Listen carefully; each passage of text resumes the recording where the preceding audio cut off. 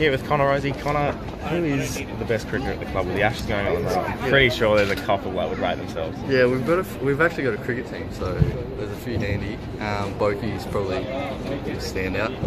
Um, Do you rate yourself? yeah, I'm not a bad cricketer. Not bad. Batter or bowler?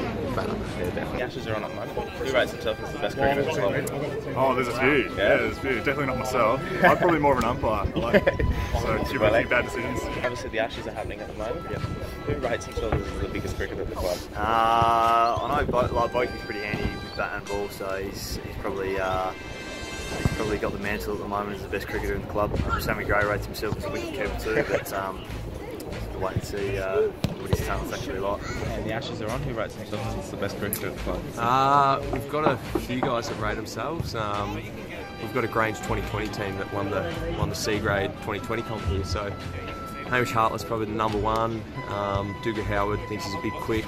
Um, Broadbent was a state cricketer, so there's a few around the mark.